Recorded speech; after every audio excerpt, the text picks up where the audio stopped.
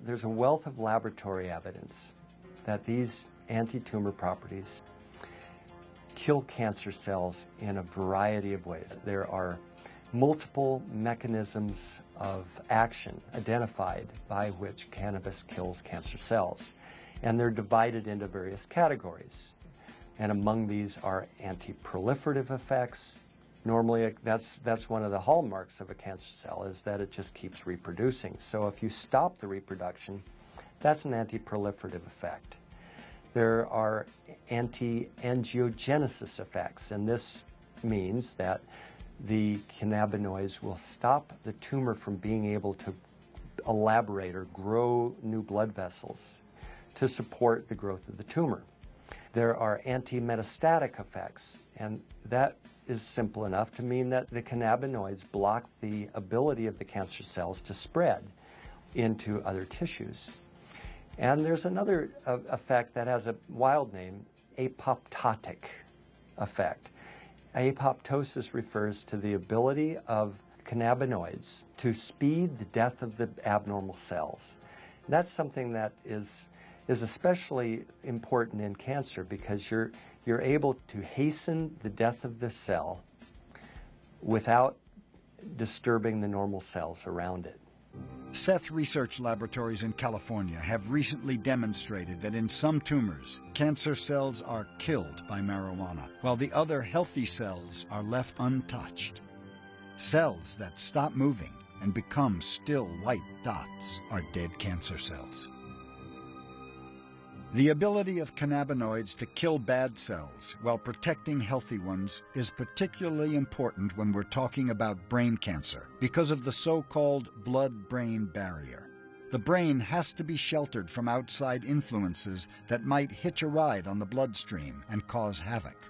What is exciting and unique about cannabinoids is that they can pass through the blood-brain barrier because of their slippery, fat-loving nature Cannabinoids get right into the brain's cancer cells by moving easily through the cell's membranes, which are also composed of lipids.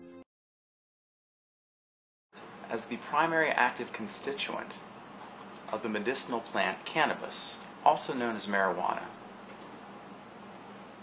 most people are familiar with the euphoric effects of this compound. After entering the bloodstream, this compound becomes available to individual cells in the brain. Delta 9 THC interacts with specific cell surface receptors. It is analogous to a key entering a lock. This triggers a reaction inside the cell. Unexpectedly, this reaction in normal cells is significantly different compared to the reaction in cancer cells. In cancer cells, these reactions lead to cell death. In normal cells, it doesn't. This surprising difference is likely due to two things a greater number of receptors on the outside of the cancer cells, and a different type of reaction inside the cancer cells as compared to the normal cells. For Dr. Nagarkatti, the research has gone far beyond treating inflammatory problems. He's narrowing in on the potential of cannabinoids to kill immune cells that have mutated and become cancerous. Once they become cancerous, they no longer die a normal cell death. Instead, they begin growing and spreading uncontrollably. We were one of the first labs to um, to demonstrate basically that not only the immune cells, the normal immune cells express these cannabinoid receptors called the CB2 receptors, but also that when these immune cells get transformed and they become cancer, to our surprise, we found that these cancer cells continue to express these CB2 receptors. This was an exciting discovery because the CB2 receptor can act like a target for the cannabinoids. Once they bind with the receptor, they can tell the cancer cell to die.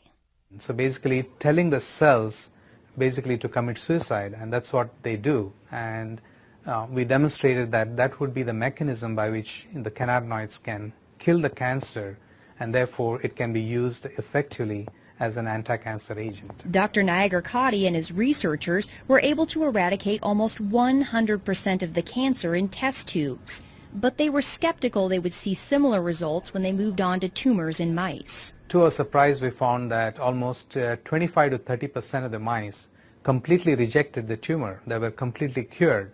And uh, in addition, we found that the remaining mice uh, also there was um, a significant reduction in the volume or the size of the tumors as well.